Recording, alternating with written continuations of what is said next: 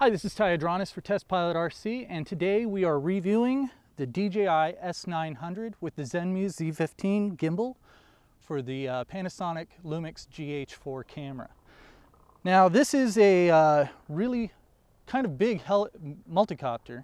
Um, it has uh, 15 inch blades, 400 kV motors, six of them all the way around. It takes 16,000 milliamp hours of 6S battery to fly this thing for around 12 minutes. They say 18 minutes. Realistically, you're looking at 12, but it's 100% badass. I mean, uh, it's uh, GPS locked, extremely quick sensors in it. This one's using the DJI A2 guidance system, which is their top of the line guidance system. The Zenmuse uh, Z15 gimbal holding this Panasonic GH4 is wireless from the base of the gimbal down, meaning all the contacts are actually inside of the central ring. So you can rotate the camera around over and over and over again without ever uh, getting tangled up. Also, the gear retract out of the way once you're in the air, so you don't have to worry about um, catching the gear in any of your shots. This is a professional multicopter. This is not a hobbyist or a tinkerer type machine. This comes pretty much ready to go. All you have to do is assemble it, which is no small task. So when I say all you have to do, it's really, you know, count on spending two, three days just putting this thing together. But it's not meant to be tinkered with. Uh, in fact, you can only use one specific lens on your GH4. It's a $700 lens and it's a Olympus uh, 12 millimeter f2.0 lens.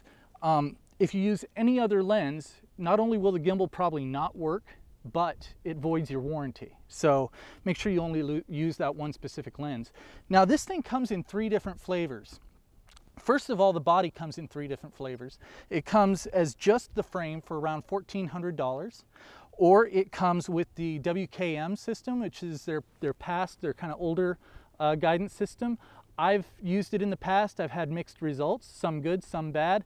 It's very touchy and you have to set it up very well and take about six months of shakedown to actually use it for anything professional.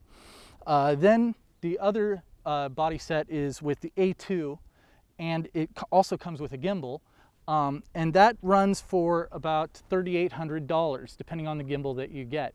Now there's three different flavors of gimbal. Uh, actually all three are $3,800 so minor correction there. The gimbals that it comes with are for the Sony NEX7 camera which if you're gonna spend that much on a multicopter, why would you use an NEX7? It's beyond me. Um, then there's the uh, Blackmagic uh, Pocket Cinema camera, which is an excellent 1080 camera. Uh, great color curves, it records in RAW. However, it's just 1080. Uh, then there's the GH4, which is what we're using today. And the GH4 variety, um, you can shoot in 4K. You can also shoot at 96 frames per second slow-mo. In other words, you don't have to post-process it to slow-mo. It's slow motion inside of the camera, which is pretty much amazeballs. So um, we're gonna go ahead and get this thing in the air but it's, let me go ahead and cover just one more thing about it. It's extremely portable. Contrary to my other multicopters that I've had in the past where I can only carry the multicopter, this guy has foldable arms and so you can throw it in a hard case pretty easily. The propellers fold up, so um, my shins, for those of you that don't know, look like hamburger because of multicopter problems in the past. This should actually help with that a little bit. Uh, you're still going to get some injuries if you contact the blades while they're turning, so be careful. Don't fly them over your kids or anything like that. Tell me if you can feel the breeze.